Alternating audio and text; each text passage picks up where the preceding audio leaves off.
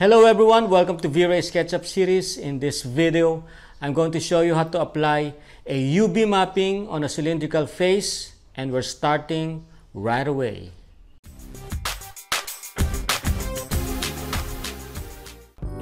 Let's create our cylinder and for this exercise, the radius and the height of our cylinder won't matter. We will wrap our image on this part of our cylinder. And to do that we go to the file menu and import that image. Make sure that we use this image as a texture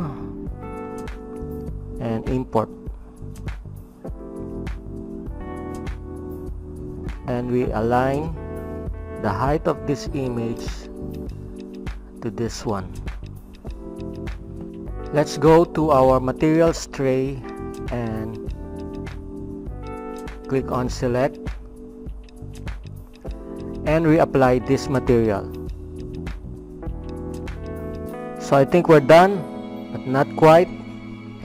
If we take a look at our image wrapping our cylinder you can see that it's not properly done especially this part it's not a good wrap. And to fix this one we need a SketchUp plugin called Sketch UV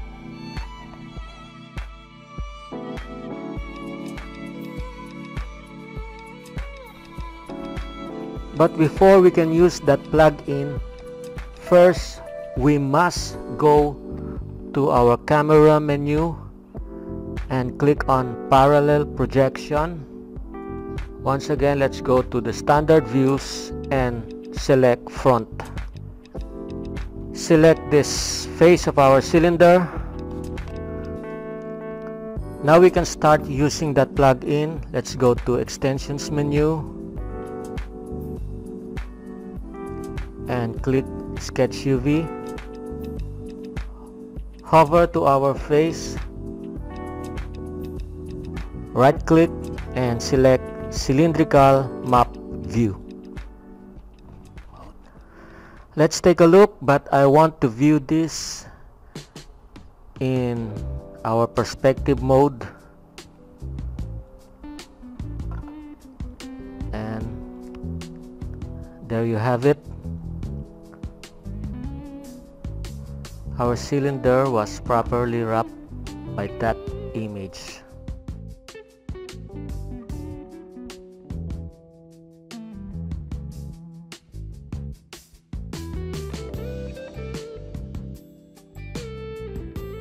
Thank you guys for watching and if you like this video, please give it a thumbs up.